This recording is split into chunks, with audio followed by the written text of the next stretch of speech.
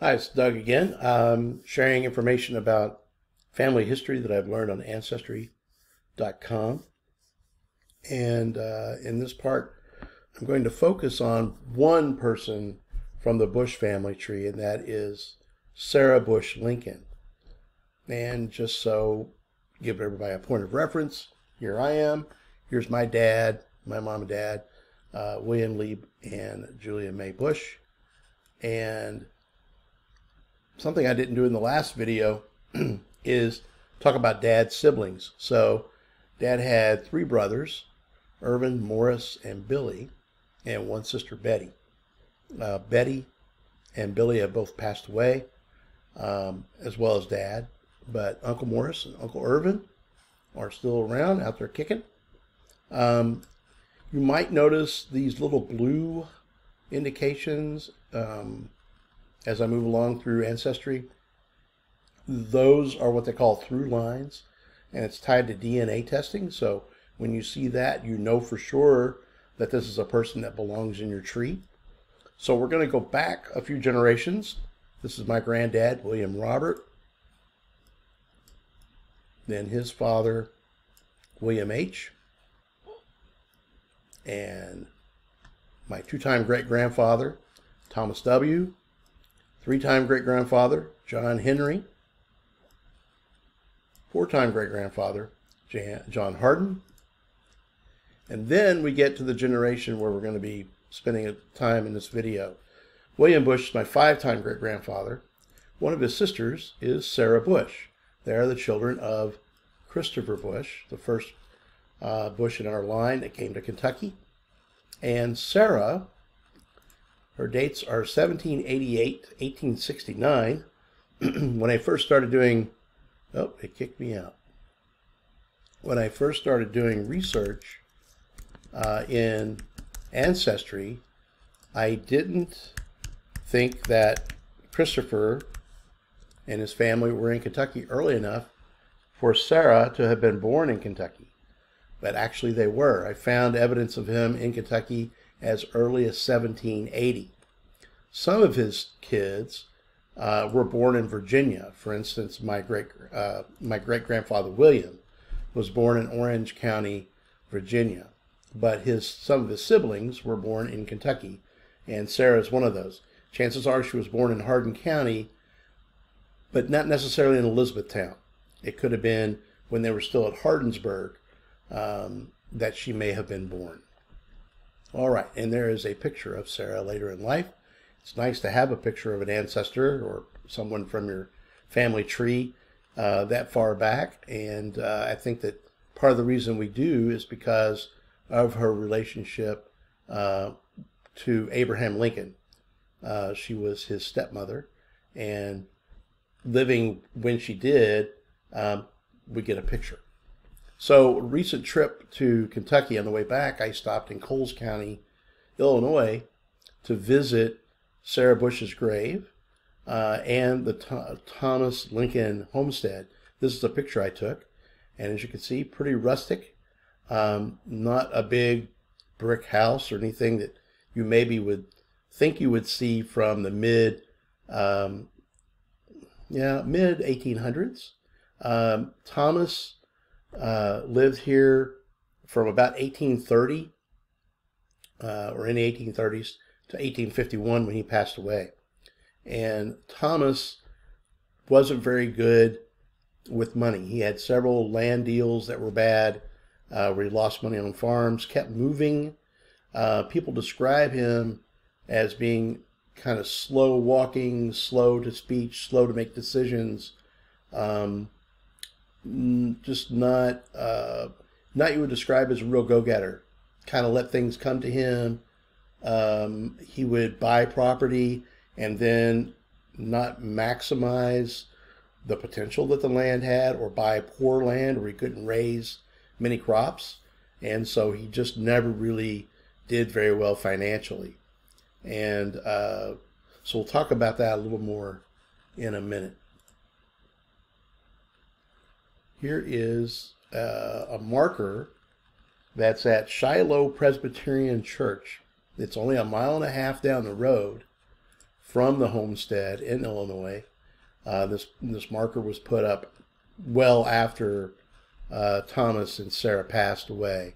Um, and you can see the inscription here Thomas and Sarah Bush Lincoln, 1778 to 1851. That's Thomas.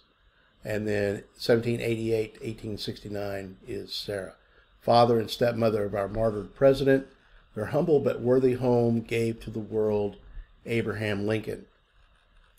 And um, this is uh, Sarah Bush's marker there in the graveyard. And in fact, this was this was put in later as well. Um, I read in the biography uh, that I'll point out here in a second that Thomas Lincoln didn't have a headstone when he was buried. That all this stuff was done uh, later on after uh, Abraham Lincoln was uh, elected president. Okay. This is a picture of the church there. I haven't done research into the Shiloh Presbyterian Church yet, so I don't know if any of this structure would have been there when the Lincolns lived in Lincoln, or in Lincoln, when the Lincolns lived in Illinois. Uh, but that's one thing that I that I want to do is do some research on the church itself. Uh, like I said, this is just right down the road, a mile and a half from the homestead. Now, um, here is a picture from Elizabethtown, Kentucky. So, um, the biography I'm reading right now is by name by the man uh, by a man named Burlingame, B U R L I N G A M E. It's free online in a PDF form. Very well done. Um, if you're into history, if you're into learning about Abraham Lincoln, I highly recommend it. What I like about it is it goes into great detail about his early life. And a lot of times when you read biographies of Lincoln, it's it mainly focuses on political life, presidency, Civil War, that kind of stuff. And I really wanted to learn about his early life because that's where I'm going to learn more about Sarah. And this is where uh, Thomas and Sarah were married in Elizabethtown, Kentucky. Um, both were widowed. Uh, Thomas had only been widowed for a short time um, when he married Sarah. Sarah had married a man by the name of Daniel Johnston, who passed away 10 years earlier. So she had been widowed for 10 years um, Lincoln newly widowed. Now, back up a little bit, and I talked about Thomas not seemingly having this drive. He was a so-so carpenter, not a very good farmer, evidently. Um, but he lost his father at at an early age, killed by uh, Native American uh, a native uh, in front of him, actually on their homestead in Kentucky. Uh, so you can imagine what that could do to a child. Um, and so, not a real great, easy upbringing or um, a life for, for Thomas. Um, he ends up marrying Nancy Hanks. And uh, a side note, they get married in Springfield, Kentucky, Washington County, in the home of Richard Berry. Richard Berry is a five or six time great grandfather of mine. And he is connected to me not through my dad's side, not through the Bushes, but through my mom's side, the Bewleys. My two time great grandmother was a Berry.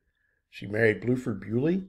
Um, and if you go back through her line, uh, it's a direct line back to Richard Berry. Richard Berry's house in Springfield still stands. That's the house where Thomas and Nancy were married. And in fact, Richard Berry was Nancy's guardian. Nancy had a tough upbringing too, was pretty much on her own from an early age, had to find ways to make money uh, and to support herself.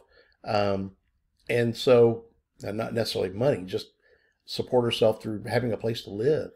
And so, anyway, somehow she knew the Berries her cousins and aunts and uncles were around that part of Kentucky, and she was married in Richard Berry's home.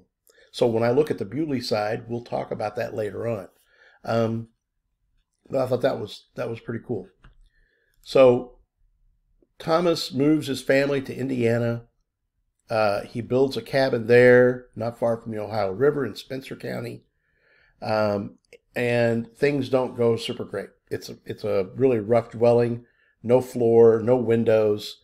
Uh, was a mile away from fresh water. Um, he cleared some of the trees, but not really enough to make a whole lot of money. There are stories about him trying to take loads of pork down the Ohio River. A couple of guys swindle him out of the pork without paying him for the for the pork. They promised, "Hey, you're going to New Orleans. When we get there, we'll we'll we'll pay you for the pork. Hey, let's put it on our boat." He does that. He goes to New Orleans, waits three or four days. They don't show up. So he comes back empty-handed. Just not doing great. Nancy gets sick. She passes away. He has two little kids, uh, Sarah and Abraham. Uh, and he decides, I, I need a wife.